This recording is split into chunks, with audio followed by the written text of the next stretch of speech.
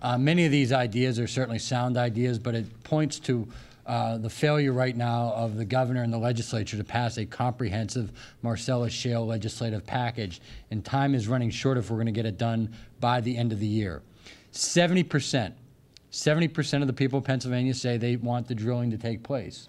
But the same 70% also say that they want a drilling tax so that the drillers pay their fair share and they want the appropriate environmental safeguards. And all of the ideas that we are talking about here today will need people in the Department of Environmental Protection that will enforce these laws or regulations if we get them through.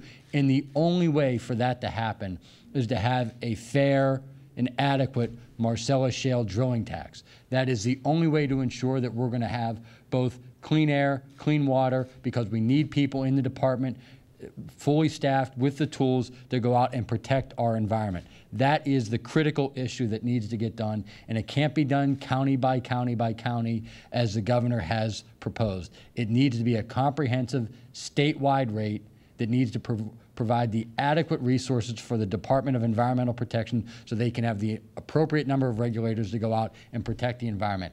Anything short of that will be putting our environment at risk.